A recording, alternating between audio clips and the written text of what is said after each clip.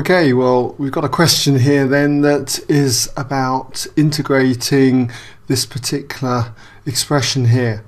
And you should be familiar with the fact that if ever you have to integrate any term of the form ax to the power n with respect to x, where a is a constant, then all you have to do is just add 1 to the power of x, so in this case it would be n plus 1, and divide by that new power, n plus 1. And don't forget there will be a constant of integration which I'm going to call plus c.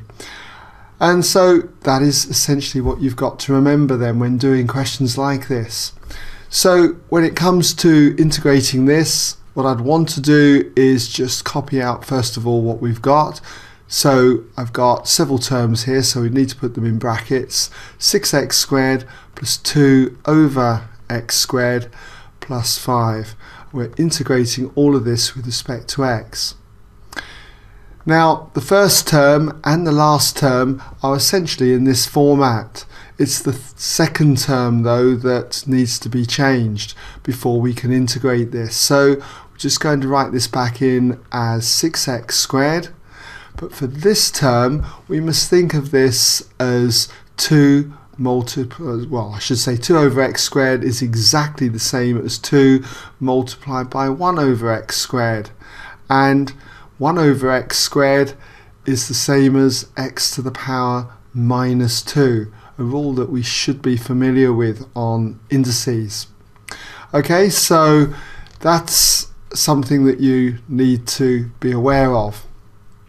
So we can change that term to plus 2 x to the power minus 2 and then we've got our constant here plus 5 and we're integrating all these three terms with respect to x.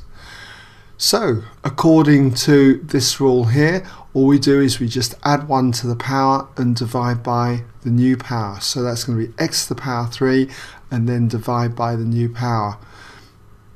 Same again here add 1 to the power of x. So if we add 1 to minus 2 it's now minus 1 and then we divide by that new power minus 1 remember when you have a constant and you need to integrate it it is essentially that constant and you just attach an x to it okay so we've got 5x and then we have the constant of integration plus c you can use any letter you like, although C and K are common letters, as long as you don't use X, okay?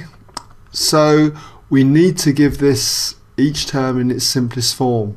So for this term here, 6 can be divided by 3 to give us 2, so we've got 2x cubed and then we've got plus 2 divided by minus 1 which is minus 2 and we're multiplying this with x to the minus 1 which is 2 times 1 over x and then we've got plus 5x and then plus the constant of integration c.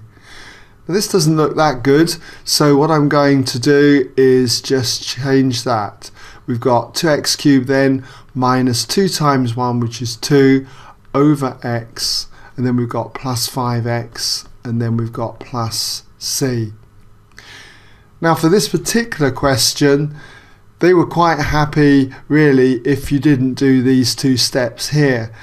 If you wrote in this position here minus 2x to the power minus 1 they were quite happy with that. So you could get away with 2x cubed minus 2x to the power minus 1 plus 5x plus c. But personally, if I had to give each term in its simplest form, that's what I would prefer to go to. Alright?